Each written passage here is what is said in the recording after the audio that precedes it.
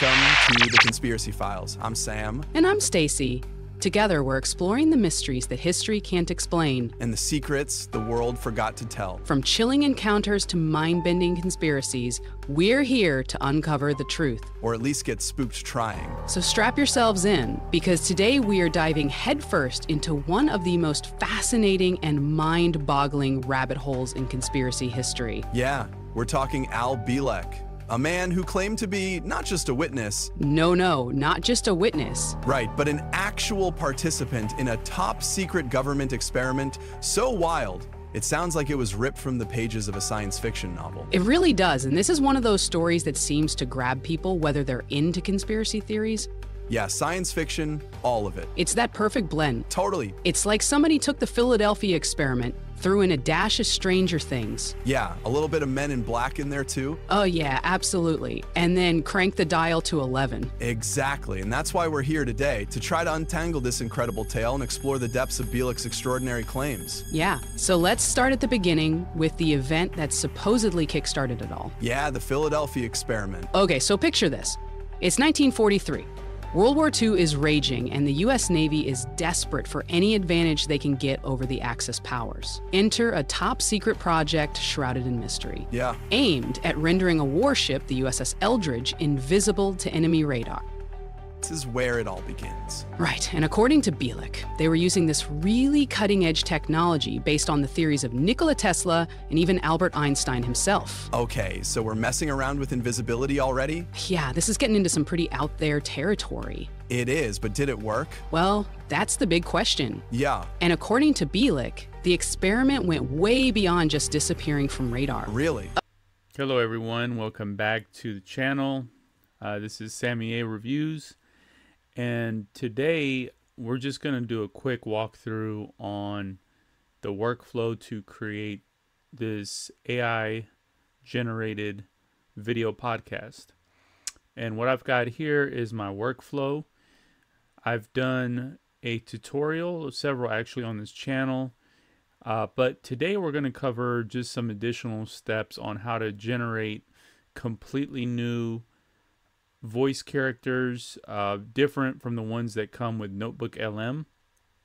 I'm going to show you what the workflow and where how I did that, and a few uh, tips and tricks to get it to sound different. So what we're going to do is we're going to go through this workflow here step by step and kind of show you how I how I made the the previous uh, podcast and we're might going to show a few uh, other demos uh, and examples of what's possible out there. So let's uh, go through these uh, step by step.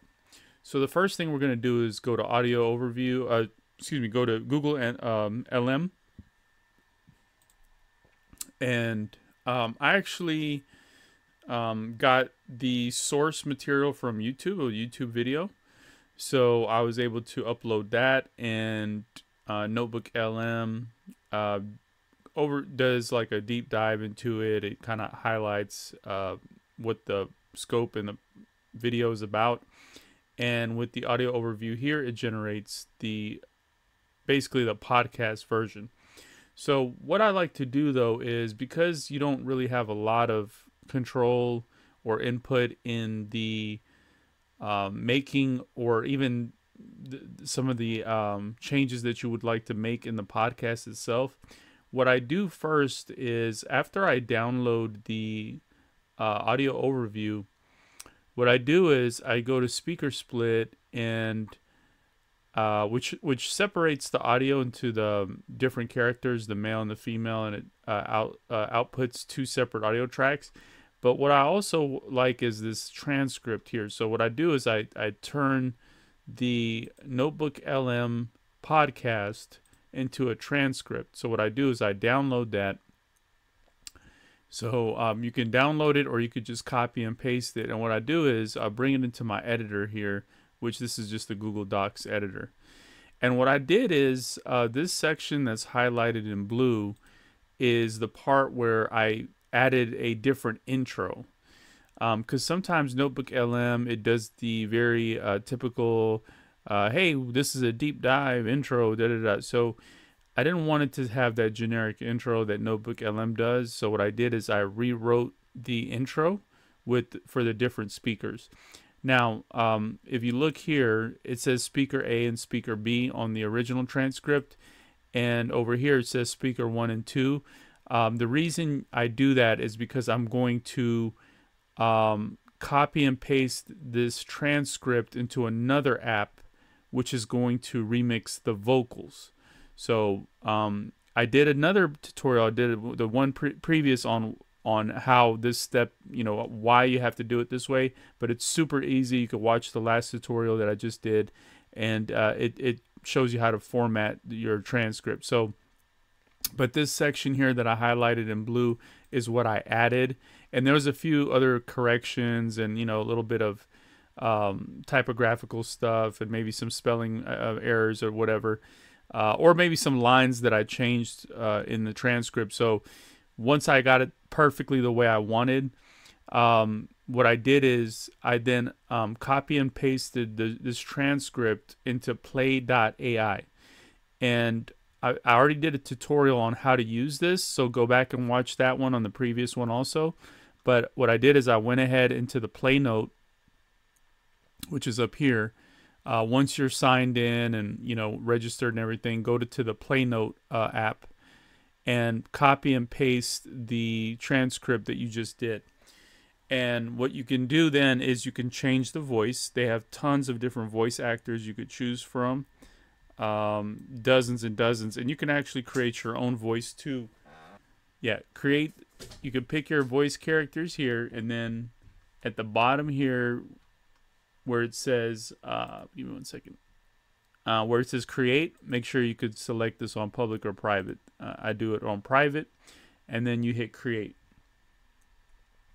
So once you hit create, it'll go ahead and um, basically use this script that you uploaded, this transcript, and it'll create a natural sounding conversation podcast um, similar to the Notebook LM version, but with um, just the new voice characters. So it'll sound um, totally different. And what I like about Play.ai is that it has a natural sounding conversational output. It's not just replacing the audio, it's not just reading the uh, transcript, it's making it sound fluid and natural like a conversation. Um, so, what I'm going to do is play how it sounds for you right here. Hold on one second. Welcome to the Conspiracy Files. I'm Sam. And I'm Stacy. Together, we're exploring the mysteries that history can't explain. And the secrets the world forgot to tell. From chilling encounters to mind bending conspiracies, we're here to uncover the truth. Or at least get spooked trying. So strap yourselves in, because today we are diving headfirst into one of the most fascinating. All right, so that's what it sounds like. Again, very professional, very natural sounding conversation doesn't sound robotic, and it doesn't, uh, in my opinion, it sounds better than Eleven Labs uh, version because it has a lot more fluid conversational style. So what then we did is I downloaded. Uh, you go down here, um, this this icon right here. You click that, and it'll download the totally remi- remixed podcast. Okay, then the next step, if you go back to the workflow, um, we um, remixed the podcast using Play.ai, created a play note with it. Now, what we do is we'll take that, go back to Speaker Split, and run that uh, new podcast. So we would uh, re upload the podcast uh, that we just created. Uh, process the audio and then the new the new separated audio files we're going to download these and import them into Hedra.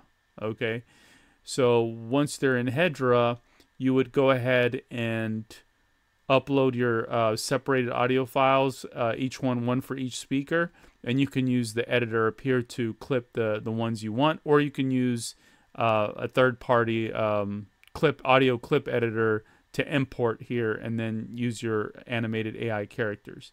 So again, I'm kind of uh, skipping over this part because I've done other tutorials about how to use Hedra and also how to uh, clip the audio files. But this is just to show you what order of steps that we go through. So once you've got all your clips ready here, then what you want to do is import them into your CapCut or whatever video editor you're using.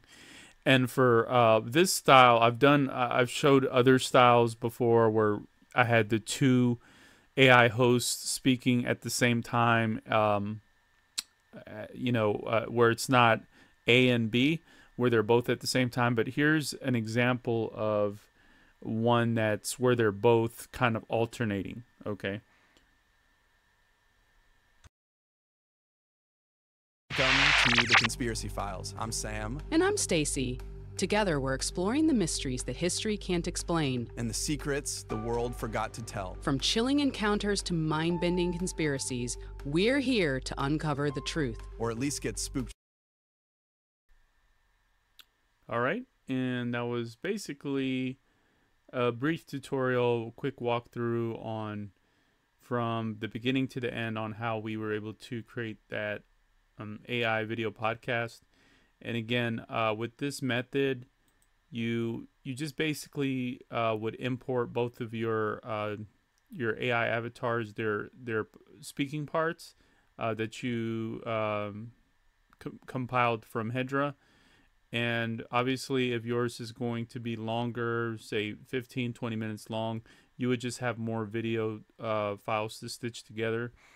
Uh, what I would recommend is to import uh, all of your video files uh, and stitch them together, and then go back and make your cuts, your uh, A/B cuts, so that it goes from like one uh, camera to the second camera, and then back and forth between the different speakers, just like that is.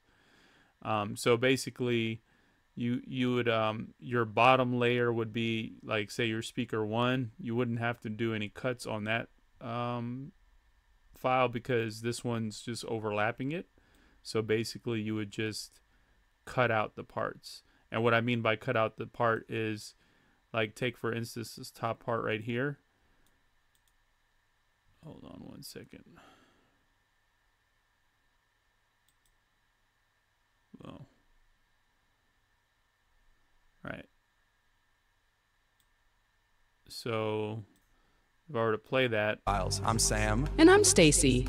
Together, we're exploring the mystery. See how that's covered up? So what I would do is just this top part, I would just trim that part down. And you don't need to trim the bottom one because anytime the top one is playing, it's just going to cover over the, the bottom one so you don't have to trim anything on the bottom one. So I hope that makes sense. Basically, since you only have two speakers, your your uh, main speaker or your A speaker, whatever, goes on the bottom track when you're doing video editing, and then the top one is going to be your B, uh, and it creates that back and forth or camera one, camera two angle just by cutting it that way. But you only need to make the cuts on the top one. So I hope that makes sense. Uh, it's super easy and to follow. Yeah, right here. Uh, you can definitely go back and check it out. And yeah, drop your comments if you have any questions. Uh, definitely go back and check some of the earlier tutorials to go more into a um, detail about each one of these steps. But this is also just a different uh, way of editing and also how to regenerate the audio. Uh, basically remixing the audio from Notebook LM using Playnote, um, Play.ai's Playnote um, audio features. And like I said, I think that Playnote's audio features are a lot uh, smoother and more better for conversational, like for a podcast, than Eleven Labs. So this is like my preferred method for remixing uh, Notebook LM audio files. All right. Thanks, guys. Take care.